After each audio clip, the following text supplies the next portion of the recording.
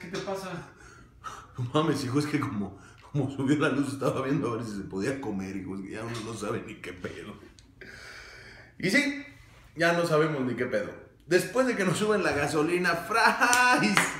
Gasolinazo, cabrones, el más caro de los últimos tiempos cuando nuestro señor presidente y Videgaray dijeron que no iban a subir, solo recordando. Este, ahora cabrón, la luz, no mames, si no se come y si se... co- ¿Qué pedo? Ya no hay. Este cabrón viene a decirnos que vale 320 pesos comer una semana. Luego nos suben la gasolina para que no circulemos más, yo creo, para ver, ¿para qué? Y luego, ahora nos suben la luz, cabrón. Y el aguacate, Price. ¿El aguacate también subió? Ah, en Oaxaca está cabrón el aguacate, ¿verdad? Tenemos a nuestros gobernantes y los tenemos porque los merecemos, porque nosotros no tenemos memoria. México, hay que hacer algo. No puede ser que aquí tengamos que trabajar pinche mil horas para comprar un litro de gasolina. Comprar es como comprar, cabrón, pero sin dinero. Después de que la gasolina sube el 1.48, ahora la luz sube el 6.8. Les encanta hacer travesuras, ¿verdad, chiquitines?